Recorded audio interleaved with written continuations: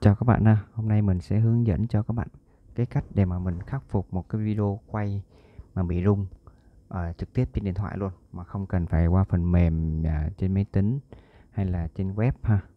Thì đầu tiên á, mình giới thiệu cho các bạn một cái video mình quay nó bị rung nữa các bạn. Đây. Đó.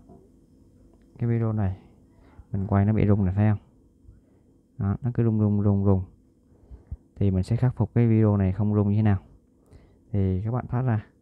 Thì trên điện thoại Android ha, thì các bạn sẽ vô tải cái phần mềm photo hoặc cập nhật cái phần mềm photo của Google á, lên phiên bản mới nhất. Sau đó các bạn chọn vô photo nè.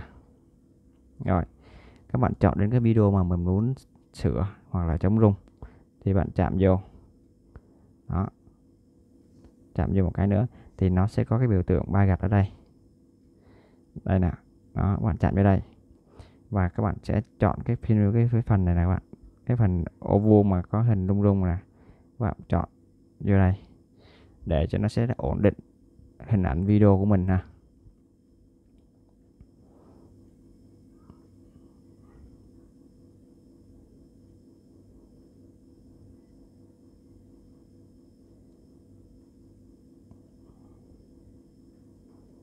Đó, đợi chút nó đang ổn định đó. Thì video càng dung lượng càng lớn thì nó ổn định càng lâu. Và giờ mình sẽ khóc xem nó còn bị rung nữa không nha. Cái này tỷ lệ nó khắc phục đâu đó là khoảng 70 tới 80 phần trăm.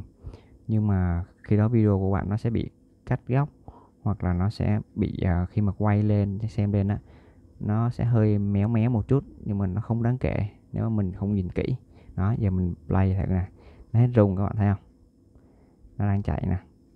Và nó không còn rung nhiều nữa đó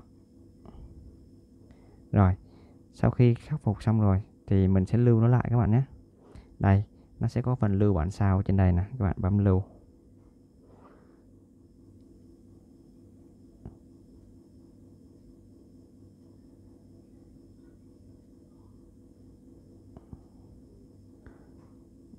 Đó, nó sẽ lưu bản sao về.